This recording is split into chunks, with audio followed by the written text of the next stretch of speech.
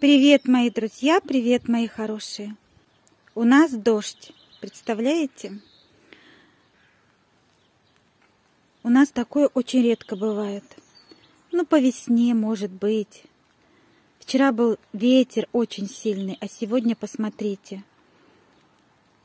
Это же просто великолепно, правда? Просто великолепно.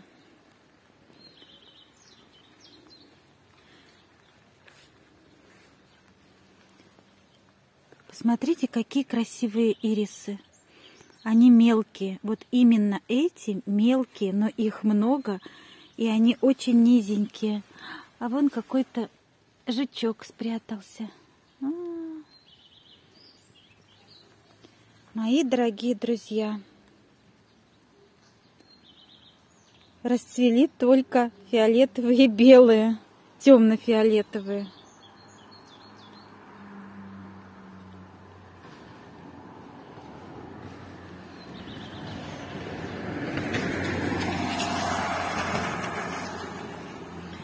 Посмотрите, еще голубые вот-вот расцветут.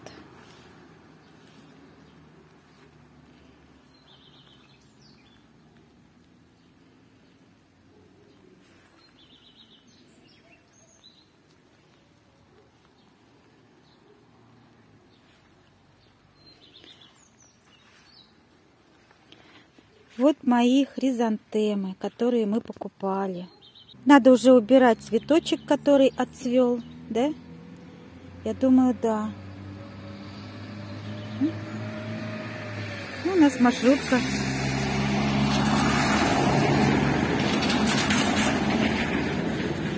Маршрутка ходит по нашей улице. Это единственная улица в старом поселке асфальтированная. Но еще есть коттеджный поселок, там тоже есть асфальт. Ну вот и у нас тоже. Да, мои дорогие друзья. А, еще одна маршрутка проехала. Короче говоря, как в центре города. Не просто так, а как в центре города. Вот еще фиолетовые. Где-то у меня есть коричневые. Наверное, вот эти, которые еще не расцвели. Да, скорее всего, это они. И мне кажется, я именно эти разделила и посадила возле огорода.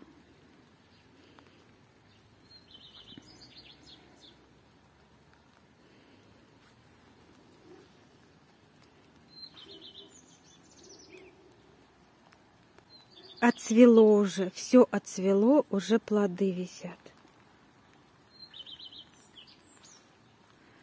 Дождик такой хороший, просто прекрасный дождик.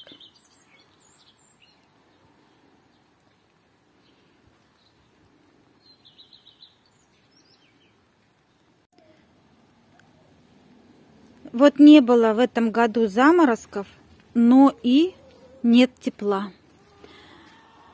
Я даже не могу представить, когда помидоры начнут хорошо расти и когда все-таки взойдут и будут расти огурцы. Для меня вот загадка природы. Курочки в грязи ходят.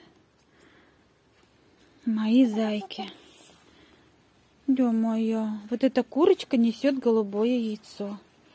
Это амираукана. Или араукана. Я их путаю.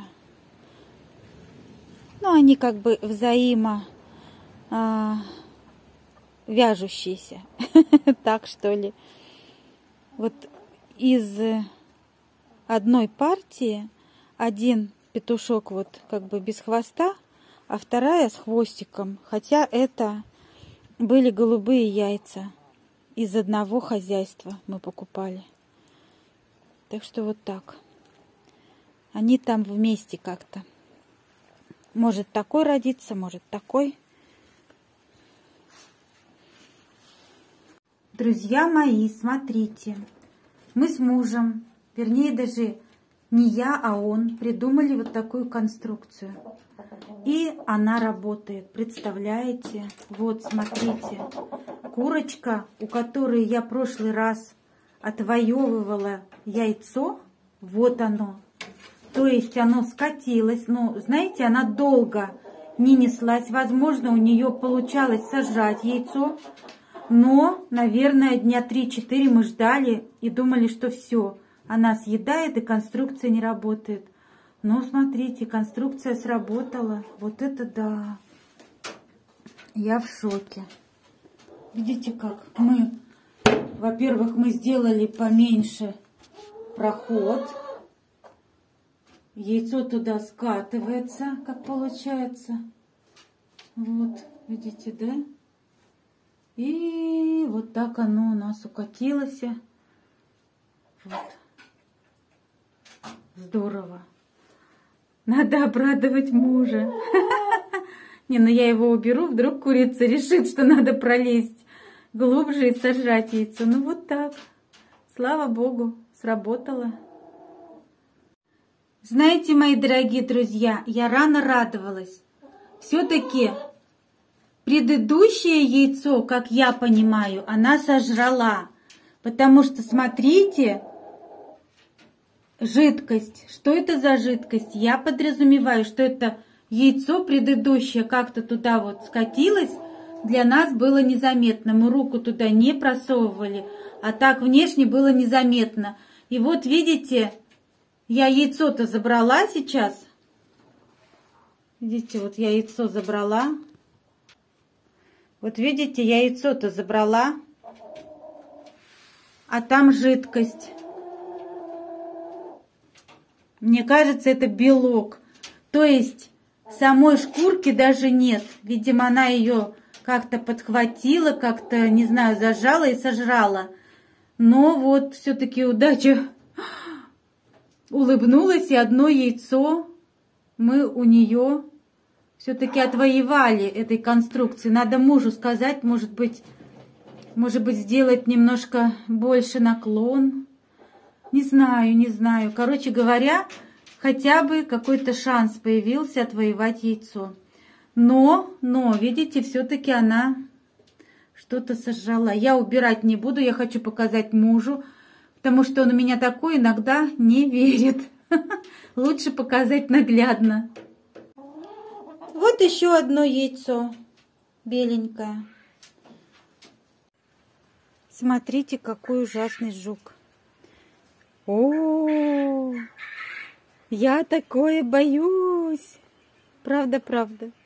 Ну, раз ползет, значит, ему куда-то надо. Пусть ползет. О, боже.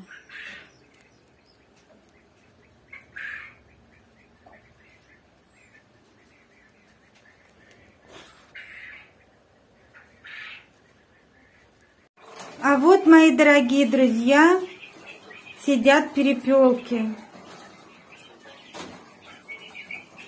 Это те маленькие детки, которые сидели в брудере. Представляете? Короче говоря, им больше месяца. И они у нас девочки на племя, часть мальчики на мясо. Ну, такова жизнь. Прошу прощения. Я тоже к этому не готова. Но муж мой занимается этим. И я, как жена, должна его поддерживать. Поэтому вот они именно у нас вот такие. Сейчас они уже по 250-300 грамм, их уже пора продавать. А это старое племя у нас сидят. Это селадоны, которые дохнут, потому что они старые. И мы отдаем их собаке. Это племя, которое несет нам вот этих вот прекрасных цыплят. И, кстати говоря, у меня сейчас лежат на выводе в инкубаторе еще яйца они проветривались. Надо бежать, закрывать инкубатор. Вот, мои друзья, 20 минут яйца перепелов проветривались. Да, хорошо. Вчера я авоскопировала 6 штук неоплода, вытащила оттуда. Пока что нашла 6. Здесь 151 яйцо. Минус 6. Так что инкубация продолжается у меня. Вот такой у меня инкубатор, несушка на 104 яйца куриных. Очень хороший. Меня все устраивает. Сначала я с ним мучилась, а потом приладилась, и теперь все хорошо, все нормально. Еще у меня проклюнулись огурчики, и мне надо их затолкать в землю. И это целое дело. Сейчас пойду, займусь еще этим. В одну грядку я уже посадила огурчики, а теперь я посажу огурчики вот в эту грядку. Будем надеяться, что они вырастут, потому что очень плохо взошли на первой грядке, которая у нас под пленкой. Ну, надеюсь, что что-нибудь получится. Вообще-то дождь идет, и я, получается, под дождем это буду делать сейчас. Мне, конечно, это не нравится, ну а что делать? Придется. Иначе хвостики слишком переросли. А капустке нравится здесь сидеть. Она вон встала и, мне кажется, уже растет. Молодец, капустка. Молодец. Ну ладно, мои дорогие друзья, буду заниматься делом. Дождь усилился. Я посадила пол грядки надо подписывать, а ложки мокрые не пишет. Но я как могла там нацарапала. Потом, пока не забыла, надо будет все переписать. Так вот, мои дорогие, все. На этом я сегодня с вами прощаюсь. Пошла я домой, потому что я промокла, у меня спина мокрая. Пока-пока. До новых встреч. Пока-пока.